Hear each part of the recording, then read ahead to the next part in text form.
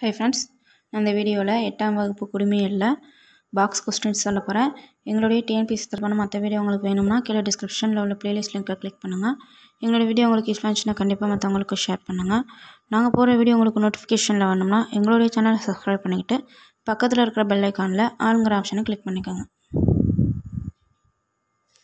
எட்டாம் வகுப்பு குடிமையியலில் இருக்கிற பாக்ஸ் கொஸ்டின்ஸ் வந்து இது ரெண்டாவது வீடியோ நாங்கள் ஏற்கனவே ஒரு வீடியோ போட்டிருப்போம் அதோட கண்டினியூ தான் வந்து இது. ஃபஸ்ட்டு தேசிய போர் நினைவு சின்னம். தேசிய போர் நினைவு சின்னம்.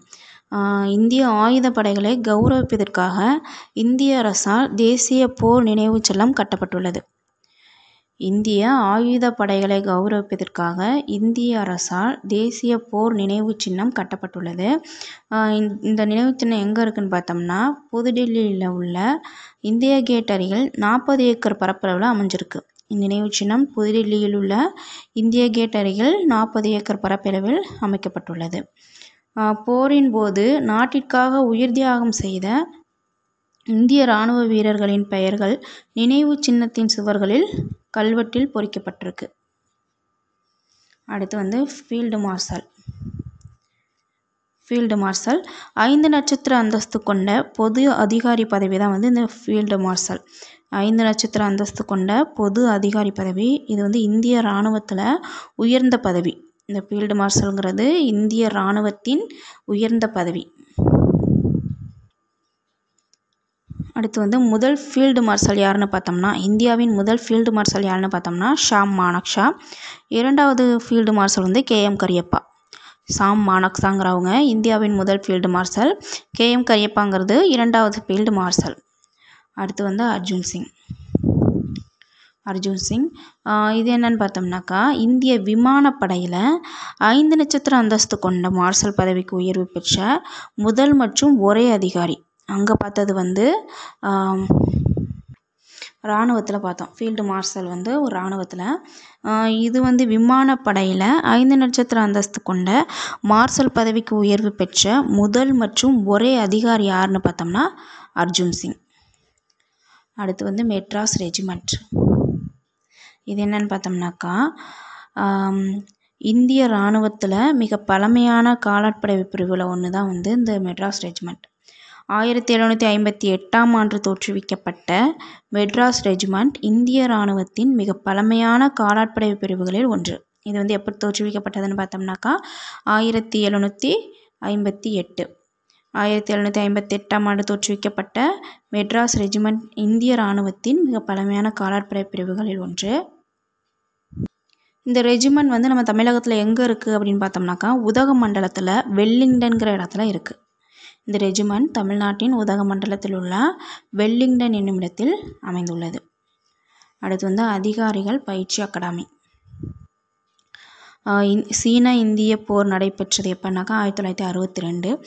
ஆயிரத்தி தொள்ளாயிரத்தி அறுபத்தி ரெண்டில் நடந்த சீன இந்திய போரானது இராணுவ அதிகாரிகளோட எண்ணிக்கையை அதிகரிக்க வேண்டியதோட அவசியத்தை உணர்த்துனுச்சு.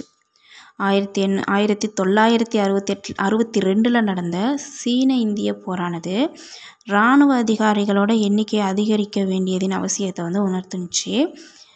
இந்திய இராணுவத்தின் அவசர ஆணையத்திற்கான அதிகாரிகளுக்கு பயிற்சி அளிக்கிறதுக்காக பூனா மற்றும் சென்னை ஆகிய இடத்துல அதிகாரிகள் பயிற்சி பள்ளிகள் நிறுவப்பட்டது. எங்கெங்கன்னாக்கா பூனா மற்றும் சென்னை. பூனா மற்றும் சென்னை ஆகிய இடங்களில் அதிகாரிகள் பயிற்சி பள்ளிகள் நிறுவப்பட்டது. இது வந்து ஆயிரத்தி தொள்ளாயிரத்தி தொண்ணூற்றி எட்டு ஜனவரி ஒன்றுலேருந்து அதிகாரிகள் பயிற்சி அகாடமின்ட்டு பெயர் மாற்றம் செய்யப்பட்டிருக்கு.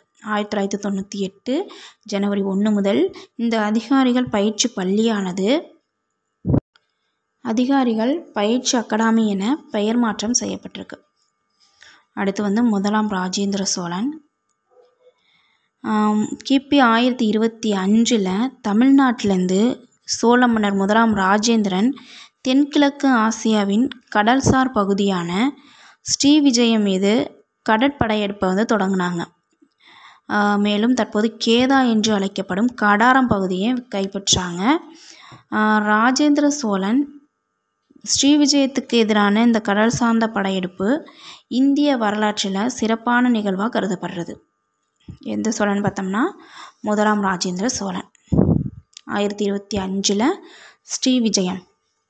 அங்கே அந்த இதுக்கு எதிராக கடல் கடந்த படையெடுப்பு வந்து இந்திய வரலாற்றில் சிறப்பான ஒன்றாக கருதப்படுது. அடுத்து வந்து தேசிய மாணவர் படை. தேசிய மாணவர் படைங்கிறது இராணுவப்படை கடற்படை விமானப்படை ஆகியவற்றை உள்ளடக்கிய முத்தரப்பு சேவை அமைப்பு. இந்த அமைப்பு வந்து நாட்டின் இளைஞர்களை ஒழுக்கமான மற்றும் தேசபக்தி மிக்க குடிமக்களாக உருவாக்குறதுல ஈடுபட்டிருக்கு. இது வந்து ஒரு தன்னார்வ அமைப்பு. இந்த தேசிய மாணவர் படைங்கிறது ஒரு தன்னார்வ அமைப்பு. இது இந்தியா முழுவதும் உள்ள உயர்நிலை பள்ளிகள் கல்லூரிகள் பல்கலைக்கழகங்களிலிருந்து மாணவர்களை தேர்ந்தெடுக்குது. மேலும் மாணவர்களுக்கு சிறிய ஆயுதங்கள் மற்றும் அணிவகுப்புகளில் அடிப்படை இராணுவ பயிற்சியும் அளிக்குது. அடுத்து வந்து ஒரு ஏழு முக்கிய தினங்கள் கொடுத்துருப்பாங்க. ஃபஸ்ட்டு இந்த இது மூணுத்தை மட்டும் பார்ப்போம். ஜனவரி பிப்ரவரி மார்ச் இது மூணுத்துலேயும் ஒரு ஒரு தேதி கொடுத்துருப்பாங்க. பதினஞ்சு ஜனவரி பதினஞ்சு பிப்ரவரி ஒன்று மார்ச் பத்து. நம்பர் எப்படி இருக்குன்னு பார்த்தீங்களா அஞ்சு அஞ்சு அஞ்சில் இருக்கு பண்ணுற மாதிரி இருக்குது பதினஞ்சு ரெண்டாவது வந்து பிப்ரவரி ஒன்று அடுத்து வந்து மார்ச் பத்து. ஜனவரி பதினஞ்சுங்கிறது இராணுவ தினம். ஜனவரி பதினஞ்சு வந்து இராணுவ தினம். ஜன பிப்ரவரி ஒன்று வந்து கடலோர காவல் படை தினம். பிப்ரவரி ஒன்று கடலோர காவல் படை தினம். அடுத்து மார்ச் பத்து வந்து மத்திய தொழிலக பாதுகாப்பு படை தினம்.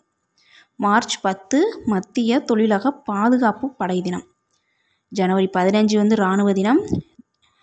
பிப்ரவரி ஒன்று வந்து கடலோர காவல் படை தினம். மார்ச் பத்து மத்திய தொழிலக பாதுகாப்பு படை தினம். அடுத்து வந்து அக்டோபரில் வந்து ஒரு ரெண்டு தேதி கொடுத்துருப்பாங்க. அக்டோபர் ஏழு அக்டோபர் எட்டு.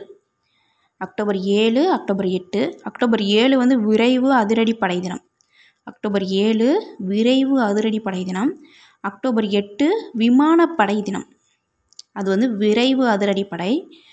இது வந்து விமானப்படை. அக்டோபர் ஏழு வந்து விரைவு அதிரடிப்படை தினம். அக்டோபர் எட்டு விமான விமானப்படை தினம். அக்டோபரில் அது ரெண்டும் கொடுத்துருப்பாங்க. அடுத்து வந்து டிசம்பரில் பார்த்தோம்னா நாலு ஏழும் டிசம்பர் நாலு வந்து கடல் படை தினம். டிசம்பர் ஏழு வந்து ஆயுதப்படைகள் கொடி தினம். டிசம்பர் ஏழு வந்து கொடி தினம் அனுசரிப்பாங்க நமக்கு தெரியும். டிசம்பர் நாலு வந்து கடல் படை தினம். டிசம்பர் நாலு கடற்படை தினம். டிசம்பர் ஏழு ஆயுதப்படைகள் கொடி தினம். அடுத்து வந்து நெல்சன் மண்டேலா பற்றி கொடுத்துருப்பாங்க. நெல்சன் மண்டேலா இவங்க வந்து தென்னாப்பிரிக்க தேசிய காங்கிரஸின் தலைவராக செயல்பட்டாங்க. நெல்சன் மண்டேலா தென்னாப்பிரிக்க தேசிய கரை காங்கிரஸின் தலைவராக செயல்பட்டாங்க. இவங்க இனவெறிக்கு எதிரான ஒரு உறுதியான போராளி. இனவெறிக்கு எதிரான உறுதியான போராளி. அடுத்து நிறவரி நிறவெறி கொள்கை என்பது இன பாகுபாட்டின் ஒரு மோசமான வடிவமாகும். நெல்சன் மண்டேலா ஃபாலோ பண்ணி வர்றது தான் இது. நிறவெறி கொள்கை என்பது இன பாகுபாட்டின் ஒரு மோசமான வடிவமாகும். இது மனிதாபிமானத்திற்கும் மக்களாட்சிக்கும் எதிரானது. இனவெறி கொள்கை மற்றும் அனைத்து வகையான இன பாகுபாட்டிற்கும் எதிராக இந்தியா போராடியது. ஆயிரத்தி தொள்ளாயிரத்தி தொண்ணூறாம் ஆண்டு தென்னாப்பிரிக்காவில் இனவெறி கொள்கையை முடிவுக்கு கொண்டு வந்தது. இந்திய வெளியுறவு கொள்கை மிகச்சிறந்த வெற்றி. எப்போனா ஆயிரத்தி தொள்ளாயிரத்தி தொண்ணூற்றி தொண்ணூறாம் ஆண்டு தென்னாப்பிரிக்காவில் இனவெறி கொள்கையை முடிவுக்கு கொண்டு வந்தது இந்திய வெளியுறவு கொள்கையின் மிகச்சிறந்த வெற்றி. அடுத்து பார்த்தோம்னாக்கா நம்ம ஏற்கனவே பார்த்துருப்போம் இந்தியா எந்த நாடுகளெல்லாம் நட்புறவு கொண்டிருக்கு அப்படின்னா அண்டைய நாடுகளை நட்புறவு கொண்ட நாடுகள் பார்த்துருப்போம். ஒரு ஒரு எட்டு நாடுகள் போனதில் பார்த்துருப்போம். அதில் வந்து நில எல்லை எந்த நாடோட பகிர்ந்திருக்கு? கடல் எல்லையை வந்து எந்த நாடோட பகிர்ந்துருக்குன்னு தான் அதை கொடுத்துருப்பாங்க. பாகிஸ்தான் ஆப்காஸ் ஆப்கானிஸ்தான் நேபாளம் சீனா பூடான் வங்காளதேசம் மியான்மர் ஆகிய நாடுகளோட இந்தியா வந்து நில எல்லைகளை பகிர்ந்துருக்கு. எந்தெந்த நாடுனாக்கா?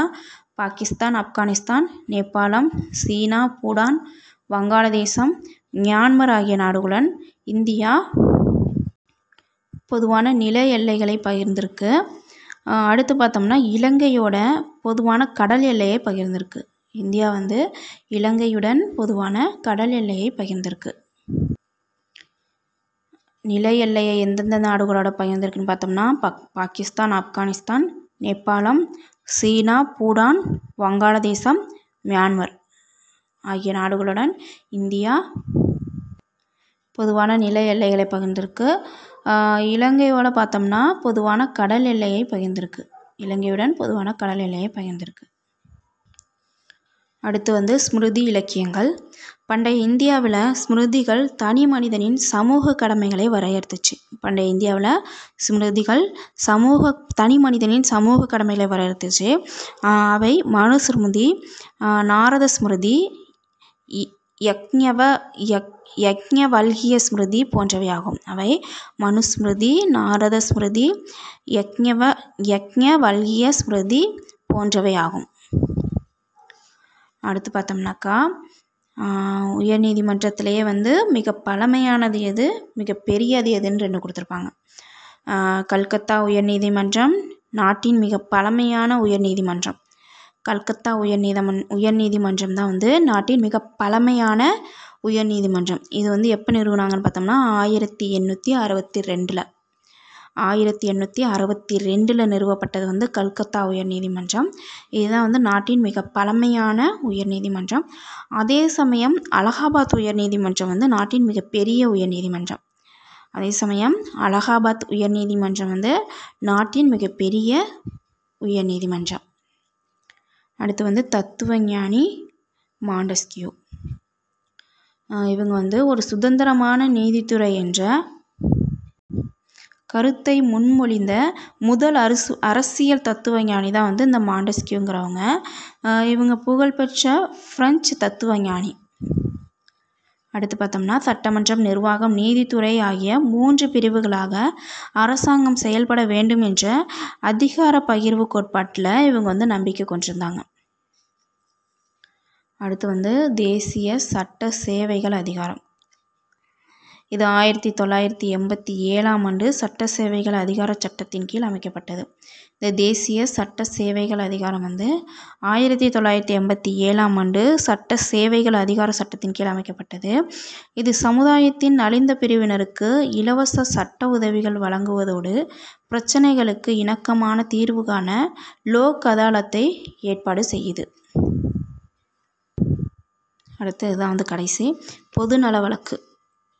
பொதுநல பொது நலனை பாதுகாக்கிறதுக்காக நீதிமன்றத்தில் தாக்கல் செய்யும் வழக்கு தான் வந்து இந்த பொதுநல வழக்கு. உச்சநீதிமன்றம் வந்து இந்த முறையை வந்து அறிமுகப்படுத்தியிருக்கு. ஒரு நபர் தனது வழக்கு தொடர்பான நீதிமன்றத்தை அணு அணுக அனுமதி அளிக்கிறது. ஒரு நபர் தனது வழக்கு தொடர்பான நீதிமன்றத்துக்கு அணுகிறதுக்கு அனுமதி அளிக்குது. இதில் பார்த்தோம்னா எது வரும்னாக்கா? அடிப்படை மனித உரிமைகள் மீறல் சமய உரிமைகள் மாசுபாடு சாலை பாதுகாப்பு ஆகியவற்றிற்காக பொதுநலை பொதுநல வழக்கை தாக்கல் செய்யலாம். இதெல்லாம் வந்து இந்த பொதுநல வழக்கெல்லாம் வரும். அடுத்து பார்த்தோம்னா இது தொடர்பான எழுதப்பட்ட புகார் கடிதம் மூலம் இவ்வழக்கினை பதியலாம். பொதுநல வழக்கு என்ற கருத்து இந்திய நீதித்துறைக்கு புதிதான ஒன்று. தேங்க்யூ